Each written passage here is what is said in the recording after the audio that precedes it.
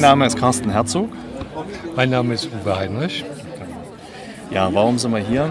Äh, wir sind beide aus dem Gewerbe Ingenieurbüro, also Planung, Beratung, Bauüberwachung und haben in unserem Job natürlich auch viel zu tun mit dem Thema, äh, wenn es darum geht, äh, zum Beispiel Aufträge zu verhandeln, Nachträge zu verhandeln, ja, Auseinandersetzung mit Baufirmen, mit Auftraggebern und dergleichen. Äh, und dort geht es auch öfters mal sehr, ich sag's mal salopp, haarig zu. Und dort haben wir in unser, der Uwe ist jetzt schon 30 Jahre im Betrieb, äh, oder in, in, in, also quasi im Beruf tätig. Bei mir sind das jetzt 21 Jahre. Und ähm, es gibt immer wieder Auseinandersetzungen, die dann auch eskalieren, wo dann ums Geld gestritten wird, wo um Leistung gestritten wird.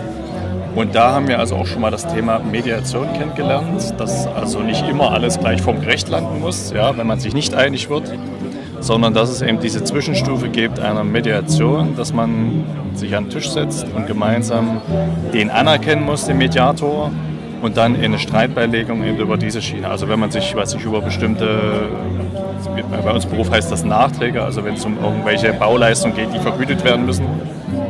Und dann ist es, ist es durch adäquates Mittel, sich über einen Mediator zu einigen, weil ein Gericht kostet Geld. Und das ist dann für beide Seiten immer von von Nachteil, weil es hohe finanzielle Aufwendungen sind.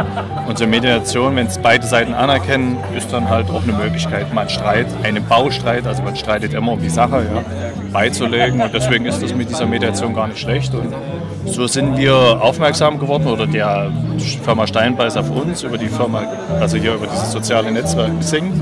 Und so kommt es heute zu der Einladung. Na, deswegen sind wir heute hier.